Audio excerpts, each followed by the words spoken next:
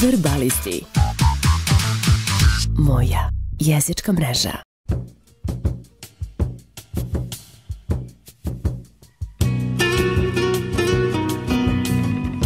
Nalazimo se trenutno u e, bioskopu Kolosej, državnom centru Ušće u Beogradu, a, povodom 30.000 ljudi koje je pogledalo film Ustanička, što je za dve nedelje zaista jedan impozantan broj. Pored mene je, a, naravno, gost naše jezičke mreže Verbalisti, Gordon Kičić, koji je glavni glumac u filmu, pritom i producent. Gordane, hvala te što se odazvao našem pozivu da budeš naš gost. Hvala vama što ste došli da ispratite ovaj event. Evo ovako, kada govorimo o filmu Ustanička, moram na početku da, da spomenem da je to jedan veliki projekat i da je to, moram reći, jedan veliki zalogaj za jednog glumca, biti producent u ovakvom, ovakvom projektu.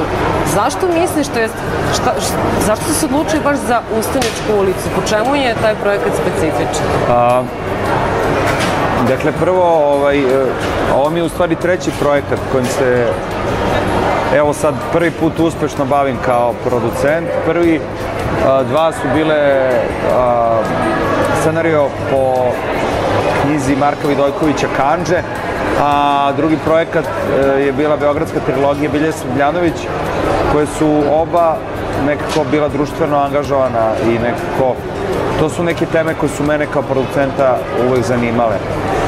Tako da ovaj, ovo je nekako logičan sled cele stvari da ja kao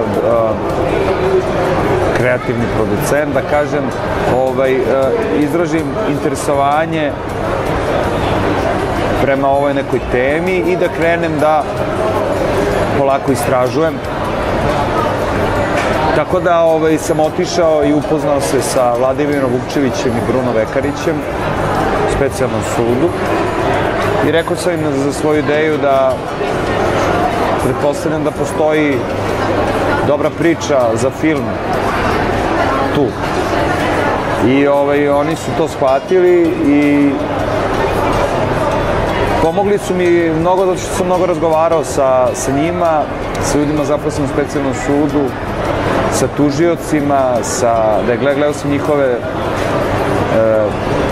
njihova suđenja, njihove predmete. Po, pored e, njih mi se priključio, naravno, u stvari mi je priključio, on, on, je, on je saradnik na scenariju, Filip Švarn. On je prosto bio na terenu za vreme tih ratnih godina kao izveštač, kao novinar, tako da ima puno tog iskustva, pogledaj i on je i dokumentarist, tako da je radio nekoliko filmova slične neke tematike. I prosto, eto, to je neki sve događaja, onda se priključio Đorđe Milosavljević, scenarista, s kojim smo pisali jednu godinu dana, godinu i po dana.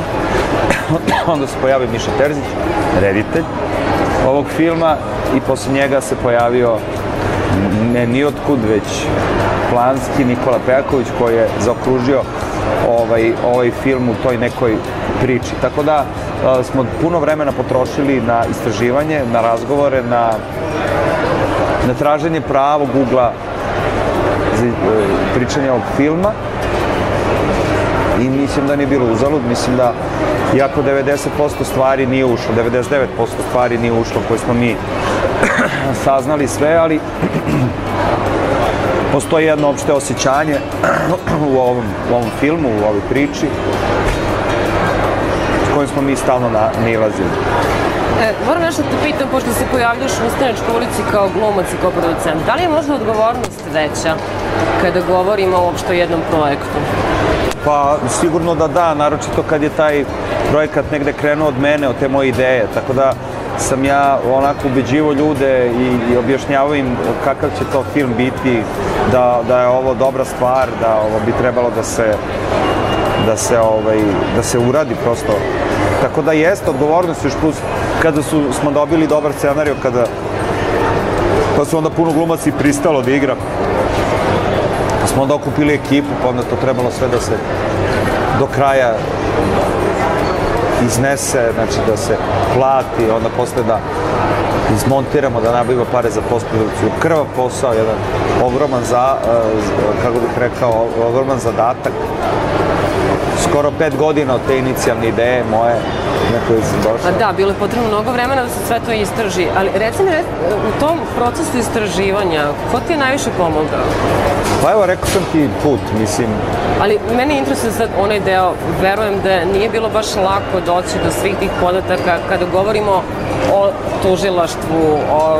Ne, ne, ne, Jesu prvo- oni bili druželjubivi, jesu bili... Ne, prosto- super su bili, oni su jako bili, ovaj, eh, kako bih rekao, otvoreni. Eh, Shvatili su da, da ovaj, ovaj film, iako oni nisu znali kakav ćemo mi film da napravimo, oni su nekako vrlo pošteno izašli nama u susret i odvojili su puno svog vremena da provedu sa nama, da ih pitamo koje kakve stvari koji njima verovatno ono,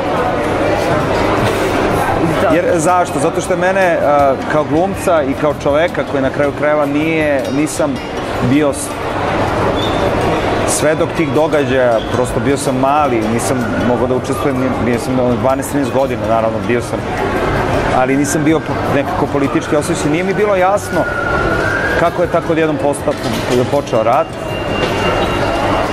Tako eto, mislim, živjeli smo u zemlji, odjednom je nastala havarija koja je trajala žešće dugo, četiri godine pakla. I nakon svega toga, mislim, šta se sad tu desilo? Mislim, šta se promenilo? Mislim, da li je to bilo neophodno? I onda me zanimalo koji su to bili mehanizmi tog nekog rata, a tek onda kasnije ratnih zločina, specijalnog tužilaštva, za ratne zločine. Tako da je taj jedan ceo krug svih tih stvari dešavanja mene zanimao kako je to zapravo funkcionisalo.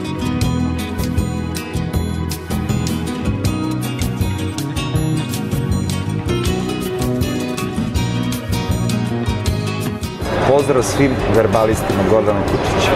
Rock and roll. Verbalisti. Moja jezička mreža.